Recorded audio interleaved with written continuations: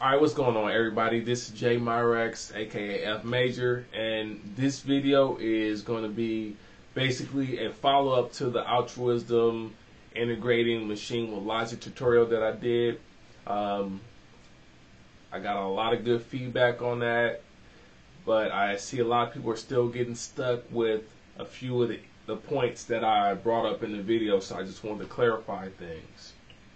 One of the main questions I get from a lot of people that see the videos, like, you know, they're asking like, "Hey, F Major, you know, I did everything that you said to do in the video. I followed it exactly. You know, I even downloaded the template, but as soon as I go into my control mode by using the shift control, and then I go to that master template like you said, and I hit the pads, and I get no sound, and I don't know what's going on. Can you please help me? Please, I'm getting no sound." So I'll explain.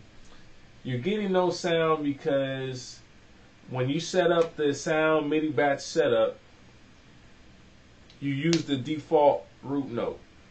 So when you open up Sound MIDI Batch Setup, it allows you to specify a MIDI channel as well as a root note.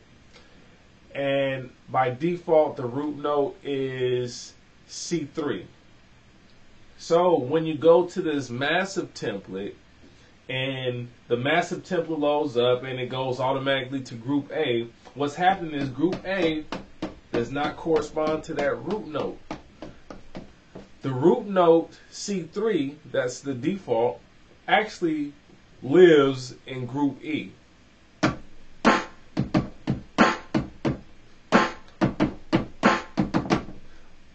You feel me? So basically it's the root note setting that's off. The root note setting determines the range which the sound to MIDI notes mode is going to map to. So if I change my sound MIDI batch setup and say I want to change the root note from the default to be C minus one instead. I'm going to apply that.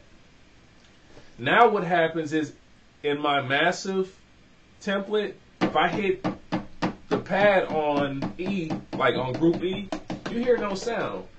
But if I go back to A now,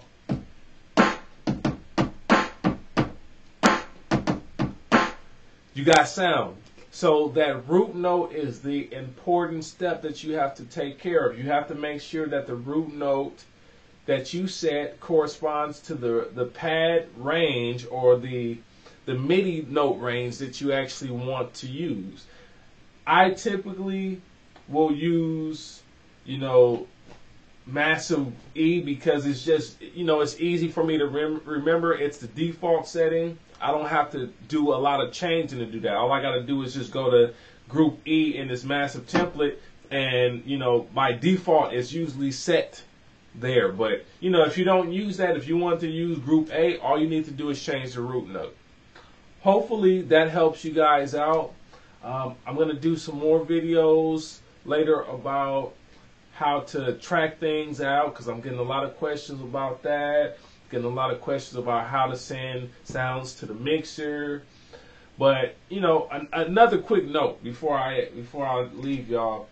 Um, if you load up a, a a um, instrument sound in Maschine, like a basically a multi-sample instrument sound that you play across the keyboard.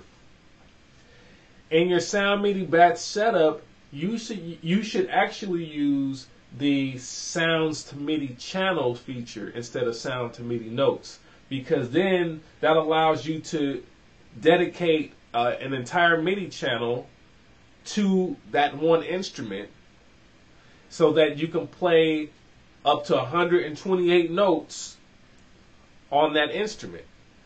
So instead of using the 16 note range that you get for the sounds to MIDI notes, you get 128 notes. So that means you can play it across the entire keyboard for you know however many notes that that instrument's mapped for.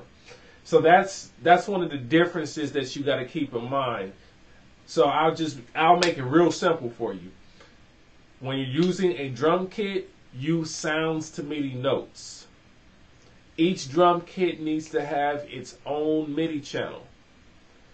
when you're using instrument sounds, that's multi-sampled instruments that play across the keyboard, you need to use sounds to MIDI channels. Because sounds to MIDI channels will allow you to create one unique MIDI channel per instrument. Meaning, you will only be able to use 16 instruments total because you only have 16 MIDI channels. But you'll be able to keep them separated and you'll be able to access them in your DAW. So sounds to MIDI channels for multi-sample instruments. All right, so hopefully that information helps. If you have questions, feel free to, you know, hit me up on the comments. I usually try to answer people's questions directly on the comments. If it's the same question, what I'm going to do instead of answering the same question over and over on the comments, I'll just create a video for you guys and hopefully that addresses the issue. But feel free, hit me up on my website, altruwest.com. You know, leave me comments there. Leave me comments on the YouTube channel as always. All right? I'll talk to y'all later. God bless. Peace.